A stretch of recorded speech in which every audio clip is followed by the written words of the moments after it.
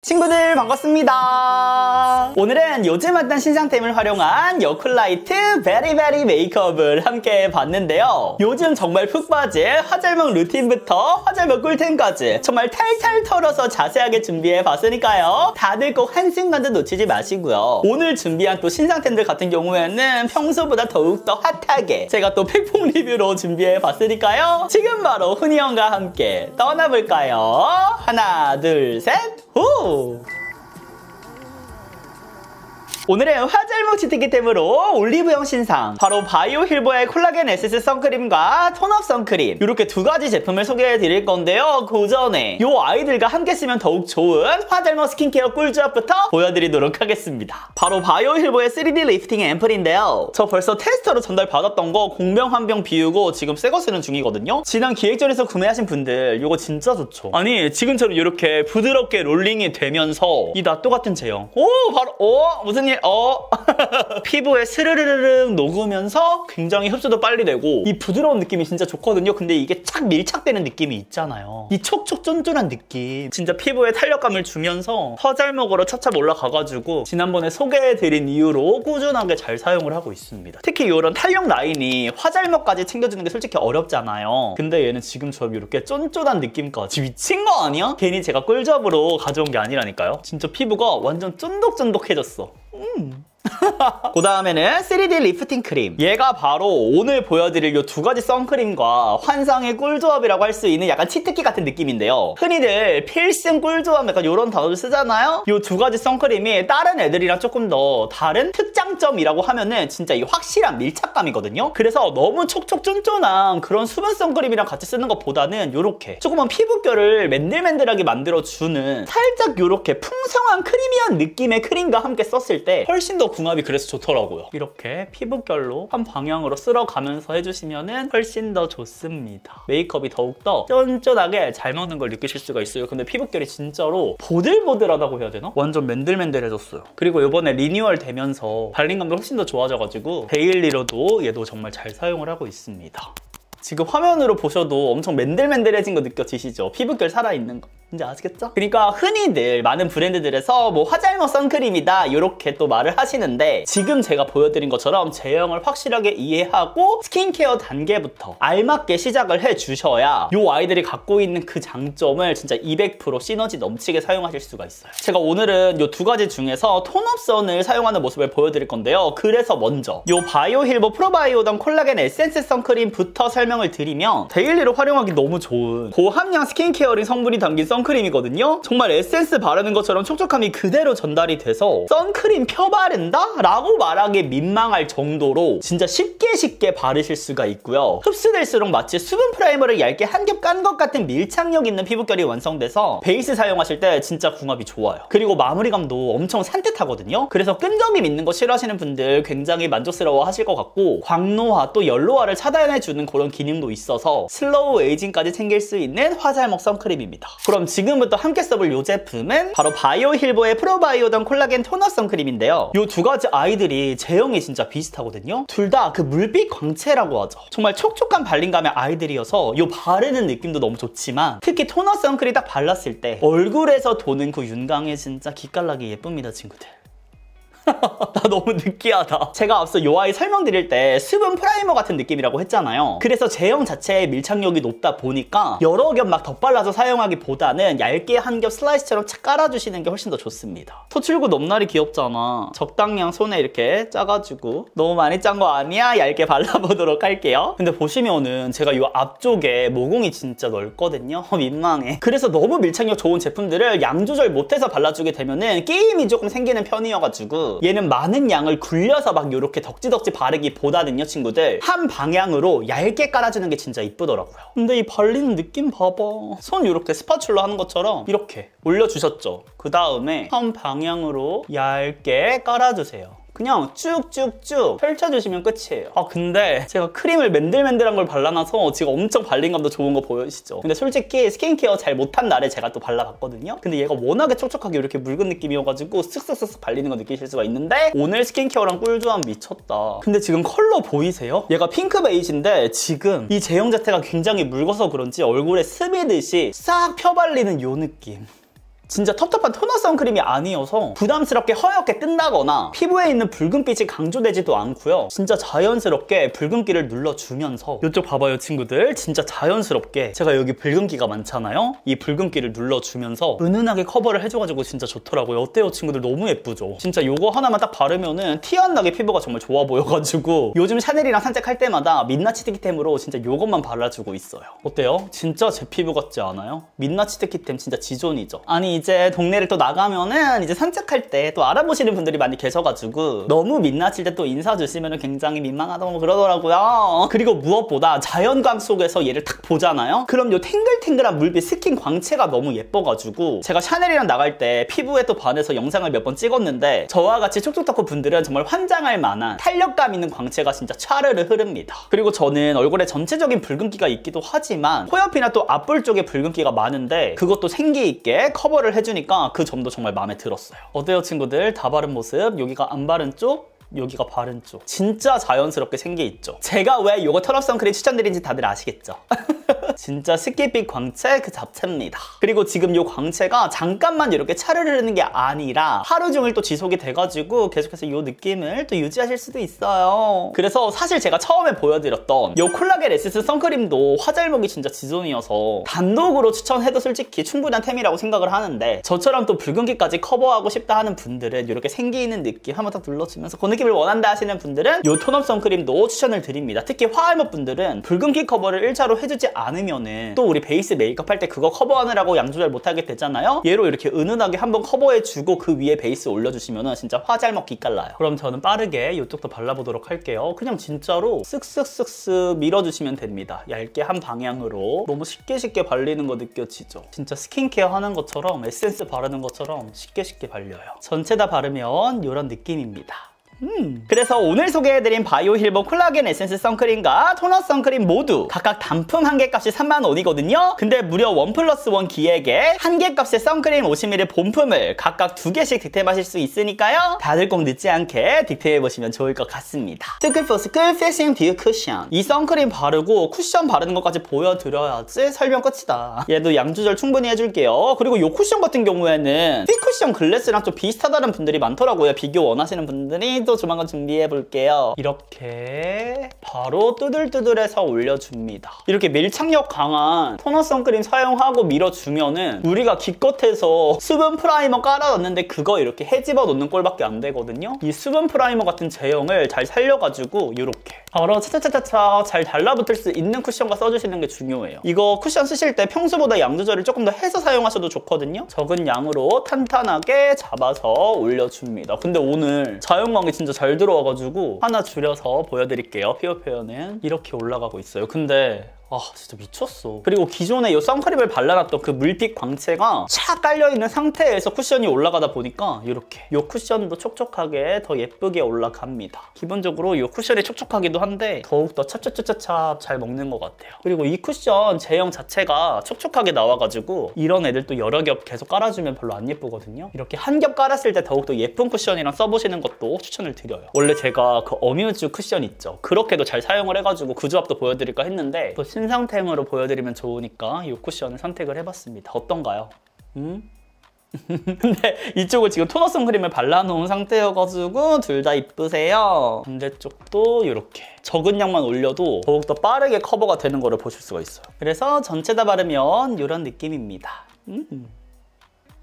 파우더 갖고 와서 살짝씩 눌러줄게요. 눈썹을 또 해야 되니까 제가 가장 좋아하는 꿀조합으로 빠르게 완성해 보도록 하겠습니다. 근데 지금 겁나 고민 중이에요. 제가 팔레트를 지금 세 가지를 대기시켜 놨거든요. cool tone 두 개랑 warm tone 하나인데 어떤 메이크업을 할까 아침까지 고민이 돼가지고 일단 다 출동을 시켜놓자 해서 준비해 놨는데 근데 이제 따뜻해질려나 봐요. 지금 해도 엄청 잘 들어오고 조만간 또 에어컨을 틀고 촬영을 해야겠는데요. 벌써 더워요. whipping cloud edition으로 이거 그 다음 cool tone, 그 다음 홀리카 홀리카 제가 또 이렇게 또 구성한 거 이렇게 준비를 했는데 오늘은 cool tone 느낌으로 베리소다 whipping인가 봄 요거를 써보도록 하겠습니다. 먼저 여기 두 번째 요걸로 베이스를 깔아주도록 할게요. 근데 생각보다 라벤더기가 좀 많이 돌아가지고 잘 써야 될 것 같아요, 컬러를. 이거 여cool light 분들한테 추천을 하더라고요. 근데 제가 약간 이렇게 보랏기 있는 게 생각보다 잘 안 먹어가지고 잘 써보도록 할게요. 특히 이런 베이스 컬러는 뭐 괜찮은데 그 다음에 올라가는 살짝 어,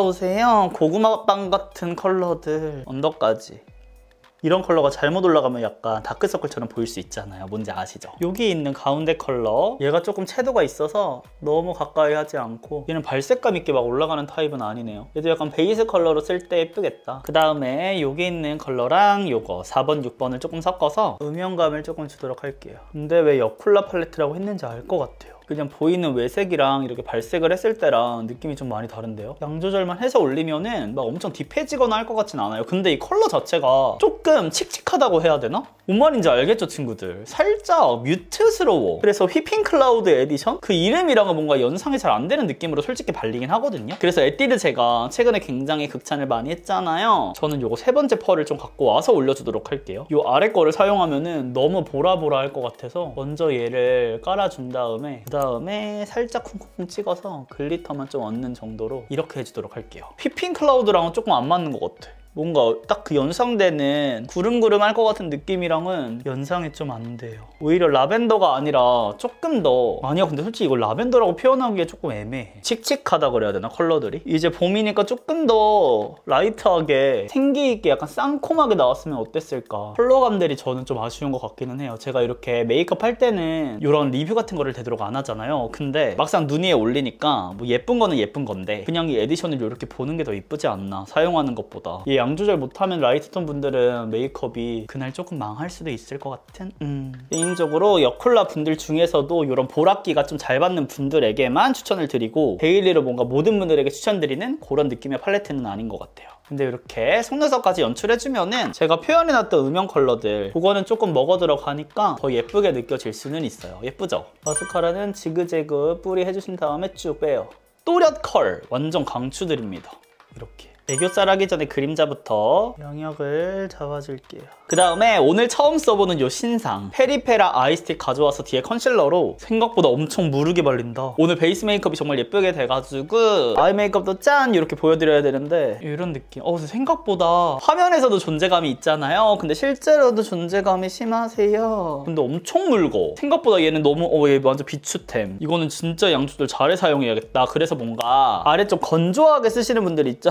이야? 쿠션 눈가 쪽에 안 하고 조금 매트한 상태에서 바르시는 분들은 좋아하실 것 같은데 이거는 좀 많이 묽어요. 그래서 이게 또 밀착이 되면은 쫀쫀하게 탁 잘라붙을 수도 있지만 컨트롤이 생각보다 쉽진 않습니다. 이게 지금 그리고 새 거여가지고 여기가 날카로웠잖아요. 그게 조금 어, 뭔 말인지 알죠? 조금 날카로우니까 조금 더 이게 뭉뚱그려지면은 그때 다시 써보도록 하겠습니다. 음. 그 다음에 요 있는 컬러 콩콩콩콩 묻혀서 음영 이 팀까지 야물딱지게 해줄게요. 딱 제가 좋아하는 어, 이런 오묘한 음영 컬러 그리고 양 조절해서 올리지 않아도 이렇게 얘는 조금 휘핑크림이랑 잘 어울리는 휘핑크림 아니죠? 휘핑 클라우드랑 좀 잘 어울리는 그런 컬러인 것 같아요. 아니 그리고 제가 올영 세일 끝나고 지금 계속해서 촬영을 하고 있는데 컨디션이 안 돌아와요 친구들 어떡해요?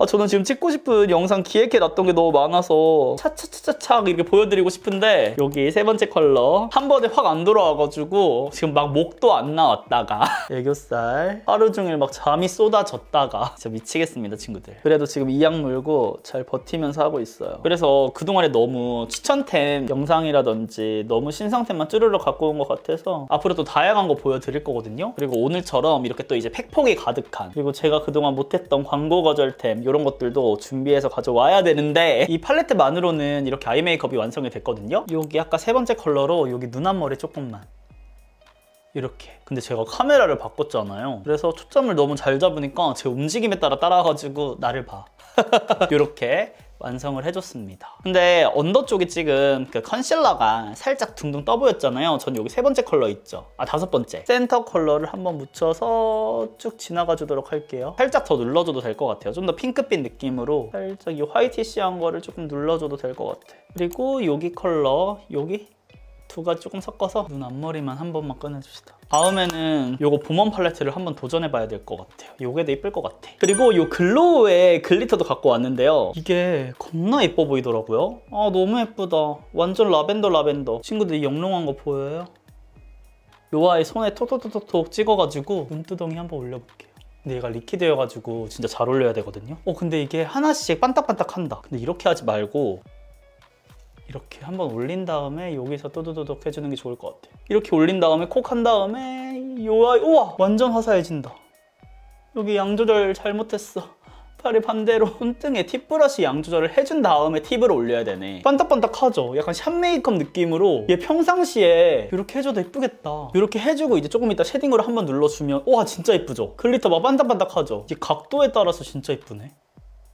다시 쉐딩을 갖고 와서 이제 해주도록 할게요. 베이스가 엄청 밀착력 있게 올라가 있잖아요. 그래서 쉐딩도 이렇게 촉촉 베이스를 해줬는데도 불구하고 진짜 쉽게 쉽게 해줄 수 있어요. 겁나 잘 올라갑니다. 웨이크메이크 쿨글로우 이거 하이라이터 갖고 와서 여기 두 가지 컬러 섞어가지고 코끝에 올려줍니다. 진주알 콕 박혀 있죠? 라벤더니까 이 아이를 조금 더 많이 사용해서 하도록 할게요. 오늘 메이크업이. 아 진짜 이렇게 광이 싹 올라가요. 여기 있는 볼류머 있죠? 이 아이를 좀 갖고 와서 여기 맨날 컨실러로 작업해놨던 부분을 이 아이로 좀 넓혀줍니다. 오 완전 여기 어머 콧대 필러 맞으셨어요? 굉장히 만족스러우세요. 그 다음에 립 메이크업을 해줄 건데요. 먼저 이거 롬앤 립 펜슬로 간단하게 1차 커버만 해줄게요. 짜란! 다이소의 치크라이터거든요? 이걸로 오늘 해주도록 할 거예요. 얘는 원래 치크인데 저는 이제 입술에서 이렇게 사용 중입니다. 립 베이스로 괜찮더라고요. 이 컬러가 완전 뽀용뽀용한 컬러여가지고 라이트 톤 메이크업 할 때 진짜 좋아요.